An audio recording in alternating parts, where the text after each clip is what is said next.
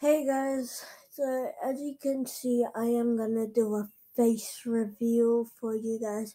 Since I was doing a video, um,